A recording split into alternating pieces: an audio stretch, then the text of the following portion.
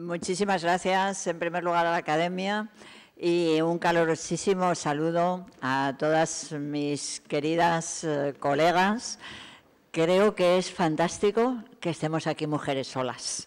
Creo que es muy bueno porque em, cada día que pasa y conforme voy cumpliendo años, que ya son muchos, pues eh, soy consciente de que hay una visión de la autoridad en las mujeres que es diferente y que lo único que necesitamos es convencernos de nuestro protagonismo necesario para el siglo XXI. Yo creo que las mujeres tenemos otra manera de ejercer el poder y como tenemos otra manera de ejercer el poder, debemos reflexionar si no es precisamente en estos momentos necesario que lo asumamos y seamos protagonistas de otra manera de ejercer el poder. La verdad es que me hacían una entrevista hace unos días un periodista y me preguntaba sobre el poder y me decía, eh, ¿cómo siente usted el gran poder que tiene como alcaldesa? Y yo le contesté diciendo, creo que tienen mucho más poder los jueces que los alcaldes. Yo he sido jueza, como sabéis, durante prácticamente toda mi vida profesional y creo que es mucho más el poder de los jueces que el poder de la Administración. Pero en todo caso, en unos y otros de lo que podemos llamar los grandes poderes, el judicial o el ejecutivo o el legislativo, hablamos de poder. Hablamos de poder dictar leyes, hablamos de poder enjuiciar a las personas que no han cumplido esas leyes, hablamos de castigar y de incluir en la prisión o en otro tipo de penas a aquellos que no han cumplido las leyes.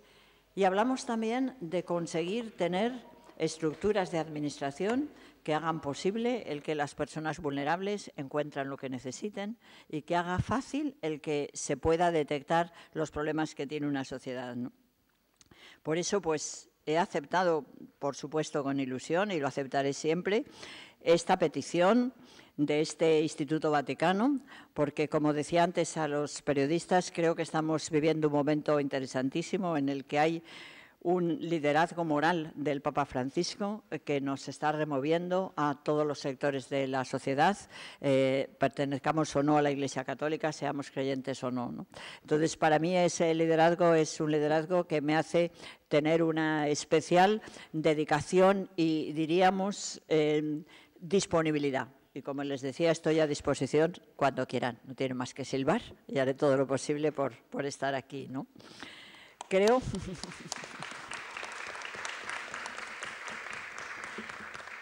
que aunque en este momento no tenga ya eh, ejercicio jurisdiccional y una vez ya jubilada ya optado por esta responsabilidad de ser alcaldesa de una gran ciudad como es la ciudad de Madrid, me parece muy interesante en este debate tener las dos versiones. Lo que yo veo desde la Administración ahora, la Administración municipal, que es una Administración además que es la que está más cerca de los ciudadanos, que ve todo, que ve lo que pasa en la calle, que ve la prostitución donde está, que ve a las prostitutas y que ve la necesidad de ayudar, etcétera, y a su vez la jurisdicción, que sigue con su proceso de enjuiciar, castigar, etcétera. Creo que a mí me gustaría que en esta reunión nosotros nos planteáramos lo siguiente: ¿cómo podemos conseguir que disminuyan los delitos de trata? ¿Cómo podemos conseguir que se acabe con la situación de explotación de esas víctimas, que significan las víctimas de los delitos de trata. Por supuesto que hay varios aspectos de la trata y lo sabéis todos. Nosotros tenemos una última modificación del Código Penal del 2015 en el que efectivamente de una manera pues muy clara se recogen en el artículo 177 bis todos los aspectos, la trata como consecuencia de la explotación laboral, la trata como consecuencia de la explotación de órganos y la trata para la explotación sexual. Pero si en alguna medida hay algún aspecto de estas tres figuras típicas delictivas que sea determinante, es la de la explotación sexual. Y yo creo que el enfoque que yo quisiera, me dicen si voy demasiado, me paso, me cortan, por favor, pero el enfoque que yo quería es, ¿nos podríamos comprometer a partir de la reunión de hoy a intentar hacer un seguimiento a ver si somos capaces de que disminuyan estos delitos. Para mí esto sería el objetivo. ¿Cómo, cómo lograrlo? Yo creo que es necesario que haya una visión en la judicatura que no puede quedar exclusivamente limitada a enjuiciar delitos, dictar sentencias y nada más. No, nos tenemos que acostumbrar que veamos las decisiones de los jueces, para qué valen, qué incidencia tienen para evitar el delito, consiguen esa ejemplaridad que siempre ha justificado el delito penal. El delito penal lo hemos entendido siempre, que era un elemento disuasorio de las conductas ilegales. Nos debemos preguntar, ¿lo son ahora? ¿Las sentencias que, están, estáis dictando los jueces disminuyen los delitos de trata? ¿Sí o no? ¿Conseguimos con esta disminución de los delitos que desaparezcan las víctimas? ¿Sí o no? ¿Conseguimos con toda la regulación que tenemos evitar el sufrimiento de las víctimas, compensarlas, volverlas a situar en el protagonismo de los derechos como seres humanos que corresponden? Y por último, ¿conseguimos efectivamente que las personas condenadas por estos delitos rectifiquen sus conductas? ¿Cambien? ¿Sí? ¿No? Yo creo que eso es algo importante. En esa línea tenemos un primer punto y es, a todos nos escandaliza que haya impunidad por este tipo de delitos. Estos son los delitos típicos eh, de impunidad. Me preguntaban los periodistas, ¿cuántos delitos, cuánta actividad? Bueno, tengo la suerte de tener aquí conmigo a una representante del Ministerio Fiscal Español, que trabaja además en el Departamento de Cooperación de la Fiscalía, que ella os va a dar los datos que tienen respecto a la actividad que hacen los fiscales para esclarecer cuál son, eh, digamos, la incidencia que vemos de este tipo de delitos. Pero tengamos unos datos o no, lo que está claro es que se trata de delitos que son extraordinariamente producidos en el marco de la oscuridad, en el marco de los mercados negros. Yo creo que ahí ya podíamos nosotros eh, tener presente la dificultad de castigar conductas que son siempre extraordinariamente opacas. Yo he podido estudiar en un trabajo de una de las fiscales dedicadas a la persecución de la trata en Madrid, que se llama la señora Sánchez Ocaña, que ha hecho un trabajo que yo creo que no lo debería hacer ella, sino que debería ser una labor de todo el Parlamento. Yo creo que el Congreso, los parlamentos del mundo, no deberían dictar una ley sin hacer nunca, sin dejar de hacer un análisis sociológico de qué han dicho las, leyes, las sentencias de los jueces. Hay que estudiarlas, hay que ver qué es lo que sucede. Bueno, el estudio es un estudio pequeño porque simplemente ha analizado todas las sentencias que se han dictado en general en toda España desde 2012 y ella misma ya empieza con una cierta incapacidad que a mí me parece preocupante. Dice, solamente tengo las sentencias que me ha facilitado el centro que existe en España de, eh, digamos, archivo de las sentencias. Desgraciadamente, nosotros en nuestra administración tenemos compañeros que no envían las sentencias, eh, compañeros que no las eh, incluyen en, todo el marco general del sistema y por eso este estudio a lo mejor solamente se refiere a un 75% de las sentencias dictadas. Puede ser. Según los datos, serían 32 sentencias que se habrían dictado desde el, desde el 2012 hasta nuestros días, de las cuales habría habido solamente siete que habían sido absolutorias, las demás habían sido condenatorias. Es interesante el análisis que hace la compañera fiscal porque dice, las que han sido absolutorias lo han sido porque los jueces no han creído los testimonios de las víctimas de los delitos de trata, no los han creído. Nosotros tenemos un sistema legal extraordinariamente garantista, yo creo que todos los sistemas penales lo son. Ya sabéis que la presunción de inocencia es un elemento definitivo para, eh, eh, digamos, el enjuiciamiento de cualquier delito penal y en el marco de las estructuras de las, eh, de las garantías, los magistrados deben valorar muy bien si un testigo dice la verdad o no. Creo que todos los que estamos aquí sabemos mucho de eso. Yo recuerdo muchas horas eh, debatiendo con los compañeros de las salas sobre si era verdad o no lo que nos había dicho un testigo. Es un elemento muy determinante. ¿no?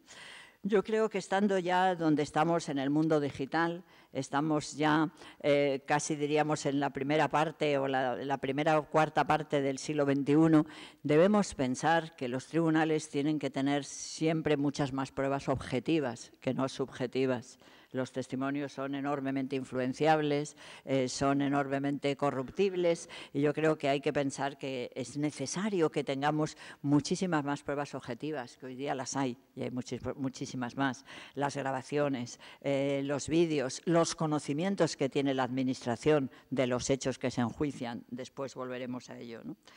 En líneas generales, me parece que es interesante en las reflexiones que hace esta compañera fiscal sobre cómo se produce el hecho del enjuiciamiento en este tipo de delitos, el que se reconozca que afortunadamente la Administración, directa o indirectamente, a través de las ONGs, lo que sí ha logrado es, en cierta medida, suavizar un poco la situación de las víctimas.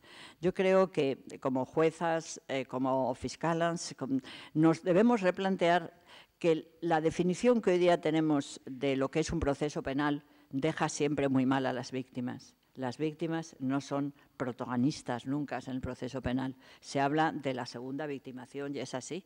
Las víctimas tienen que sufrir eh, unos procesos en los que se cuestionan sus palabras, se las intenta equivocar, se las intenta eh, descalificar debemos dar ahí una respuesta importante. Eh, este tipo de delitos no puede tener este tipo de juicios. Yo creo que eso es una cosa que hay que plantear.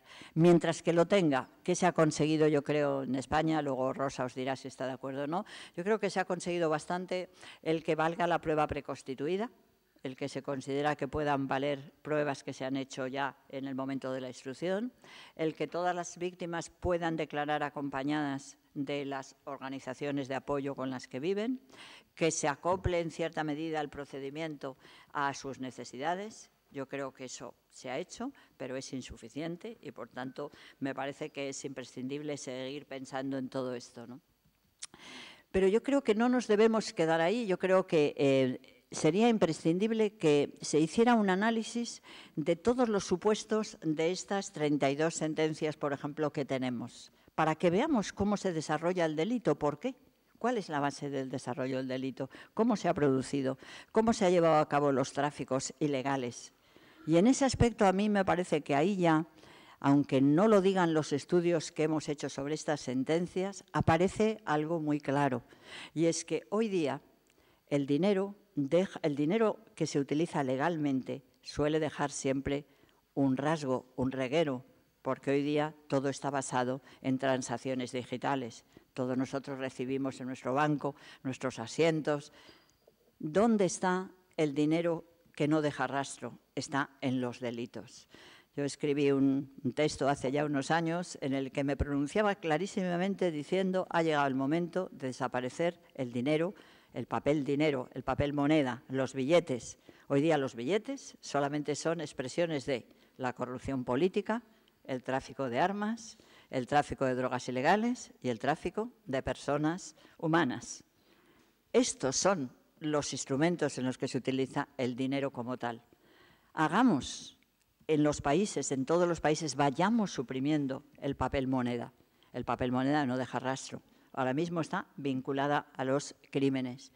No es extraño escuchar, por ejemplo, en las noticias que nos puede dar un medio de comunicación sobre un proceso de corrupción política que se ha encontrado un millón de euros en billetes en un armario de la persona que es investigada.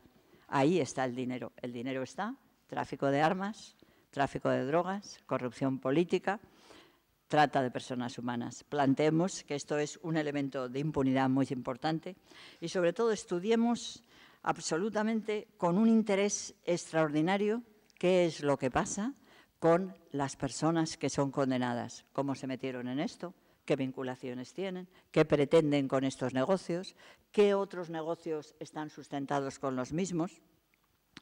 Y sigámosle, sigámosle también el rastro cuando estén en los centros penitenciarios.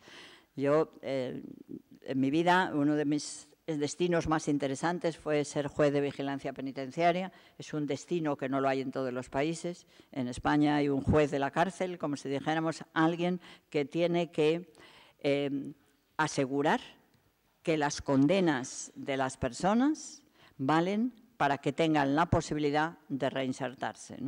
Bueno, pues seguimos teniendo esa asignatura pendiente. Según mis datos, habría en este momento en España 123 personas presas por delitos de trata y que yo sepa no hay ningún programa de reinserción, no hay ningún seguimiento directo para servir, para saber, porque eso nos vale no solamente para intentar la tarea legítima de la reinserción, sino además para saber bien cuál es el marco en el que se han producido esos delitos. Bueno, esto es importante, pero ¿qué es mucho más importante que esto? Mucho más importante que esto es que nosotros, cuando nos planteemos qué esperamos de las decisiones de los jueces y si esas decisiones de los jueces van a disminuir o no los delitos, pensemos que ningún delito disminuye si no sabemos cuál es la causa que lo provoca. Es inútil. Yo he hablado muchas veces, hemos hablado tantas veces en materia de drogas, sobre todo yo que soy mayor, en los años 70 había tanta reflexión sobre cómo era posible que caía un cártel de drogas y a los dos meses había uno nuevo. Uno estaba en Colombia, después el otro estaba en Guatemala, es decir, esa sensación y e, esa reflexión de por qué surge el delito. Yo creo que ahí es donde yo creo que falta mucho por hacer. ¿Por qué surge el delito? de tráfico de personas y muy especialmente el tráfico de la explotación sexual surge porque no nos hemos atrevido a afrontar directamente, la hipocresía de lo que significa la sexualidad en nuestro mundo actual. Nosotros estamos viviendo un proceso de sexualidad en el que se considera la satisfacción sexual como un elemento de mercancía, en donde ha permitido el que se entienda y se acepte de una u otra manera. Sí, es verdad que abiertamente no se dice, eh, se critica, se hacen reuniones, se hacen debates sobre todo este tipo de cosas. Pero después nosotros vemos que en los periódicos sigue habiendo anuncios de una manera más o menos clara. Vemos, por ejemplo, en el ayuntamiento se ha planteado muchas quejas de que es habitual el que en las ventanillas de los coches se deja muchas veces una propaganda, que es una propaganda claramente que indica que hay algún centro de prostitución. Está naturalmente enfocado, club, de, bien, lo que sea, pero está claro, me decían eh, los padres de un colegio que los niños estaban ya acostumbrados a recoger estas, estas viñetas porque tenían unas mujeres muy guapas y hacían colecciones, en fin, es, es una realidad. Vamos por una carretera y vemos anuncios de clubs, eh, club del descanso, el relax, con una mujer que evidentemente está indicando que todos sabemos lo que hay, ¿no? ¿Esto qué quiere decir? Que hay que abordar el tema de por qué tenemos una sexualidad en este primer cuarto del siglo XXI basada en, una visión de una sexualidad fundamentalmente machista, en que eh, la mujer es una mercancía, es un objeto de satisfacción sin más. Y ahí os quiero decir que hay que ser valientes y empezar a profundizar en qué sexualidad tenemos, por qué tenemos sexualidad, por qué no educamos la sexualidad, por qué no somos capaces de educar este aspecto del ser humano. Hemos educado otros muchos aspectos del ser humano. Es evidente que en la sociedad ha disminuido la crueldad eh, que podía existir en otras legislaciones. Hemos sido capaces de superar determinadas estructuras odiosas de explotación, como lo que significaba la esclavitud objetiva, en la que se reconocía que había situaciones en las que una persona era propiedad de otra, etcétera. Pues yo creo que quizá estamos ahora en la necesidad de abordar este planteamiento. Y en esa medida es donde yo creo que hay que ser muy responsables. En España hicimos en el 2008 una encuesta muy importante para mí sobre el comportamiento sexual de los españoles. Nadie ha hecho nada con esos datos. Los datos son extraordinarios pero no se han estudiado, no se han trabajado. Yo no he visto que se hayan hecho programas en relación con esos datos.